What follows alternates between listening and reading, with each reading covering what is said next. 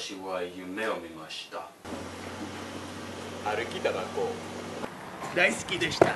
けれど一人の警官にいました。彼は言いました。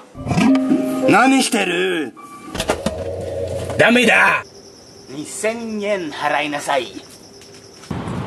そうして動きました思いつきました。再び喫煙を合法化することです。市民は自由であるべきです。毒飲む自由。自殺する自由。食べ物がない時自由する自由。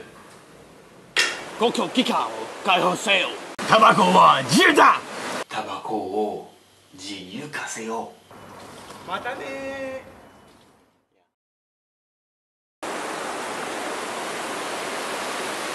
自由する自殺。